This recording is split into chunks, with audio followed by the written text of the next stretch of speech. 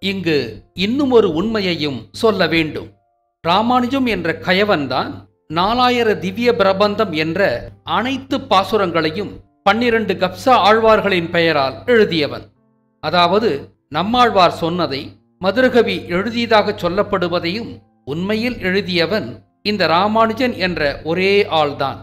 காமரசம் சொட்டச் சொட்ட ஆண்டாள் எழுதியதாக சொல்லப்பட்ட பாசுரங்களையும் இவன்தான் எழுதினான்.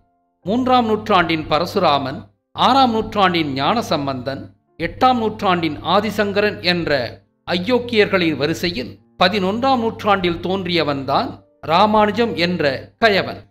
ஆதிசங்கரனையே தூக்கி சாப்பிடும் அளவுக்கு மிகப்பெரிய கயவன் இவன்தான். திருப்பதி முருகனை விஷ்ணுவாக மாற்றிய கயவனும் இவன்தான். பிராமணர்களை வாழ வைத்ததில் இவன் மிக முக்கியமானவன்.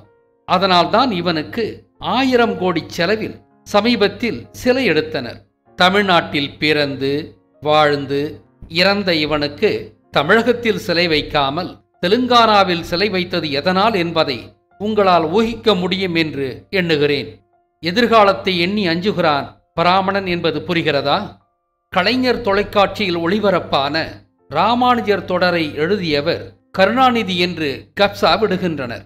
தமிழகத்தில் எண்ணிலடங்கா தந்திரங்களையும் அக்கிரமங்களையும் செய்த ராமானுஜம் என்ற பிராமண கயவனை காலத்தின் தேவை கருதி சமத்துவ ஆழ்வாராக கட்டமைக்க பிராமணர்கள் தேர்ந்தெடுத்த இன்னும் ஒரு போலி சமத்துவ கயவன்தான் கருணாநிதி. அதனால்தான் ராமானுஜர் கதையை கருணாநிதி தயாரித்ததாக பொய் சொல்லி கலைஞரின் கைவண்ணத்தில் என்று கப்சா விட்டு வியாபாரம் செய்தனர். ஆரியத்தை வாழ வைப்பதே திராவிடம்தான் என்பது புரிகிறதா?